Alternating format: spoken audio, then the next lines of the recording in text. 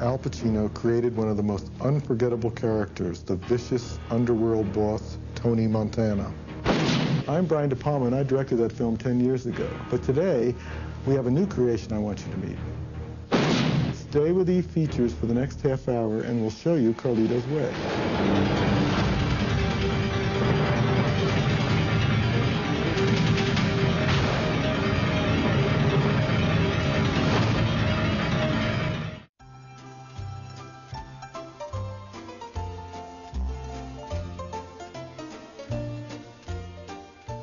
Charlie was a millionaire in his 20s. Charlie was the most famous man in the world, apart from Christ, uh, before he was 30. I mean, he was, he was a phenomenon. He was an absolute phenomenon. Hi, my name is Brian Grazer.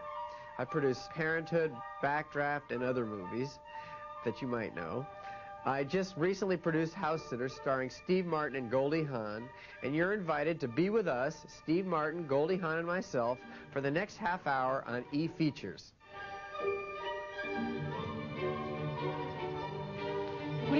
Here? What am I doing? What are you doing here?